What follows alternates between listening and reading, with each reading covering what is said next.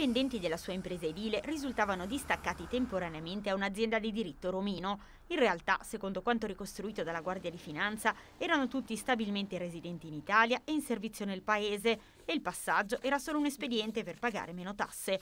Al termine degli accertamenti, le fiamme gialle di Olgiate Comasco stanno sequestrando beni per 2 milioni e 700 mila euro alla società e all'amministratore, una somma pari alla cifra che non sarebbe stata versata all'erario.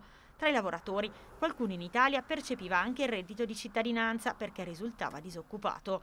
Le indagini sono iniziate dopo un controllo ordinato dalla Finanza in un cantiere edile di Beregazzo Configliaro.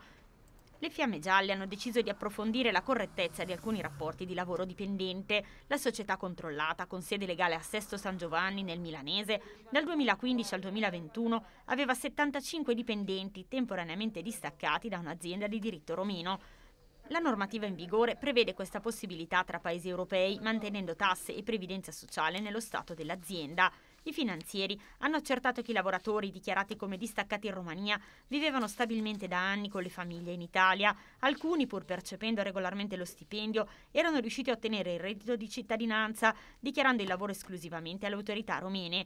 Per l'accusa, dunque, la scelta di impiegare personale formalmente inquadrato all'estero era finalizzata solo all'evasione contributiva e previdenziale. L'azienda romena è risultata del tutto inesistente e gestita dallo stesso indagato da un ufficio nella sua abitazione. Al termine dell'indagine coordinata dalla Procura di Monza, il Tribunale ha disposto il sequestro preventivo alla società italiana e al suo rappresentante legale di oltre 2 milioni e 700 mila euro, pari al danno che avrebbero causato alle casse dello Stato. Sono già stati sequestrati denaro contante per circa 830 mila euro e un'abitazione a Sesto San Giovanni per un valore di oltre 600 mila euro e l'attività procede.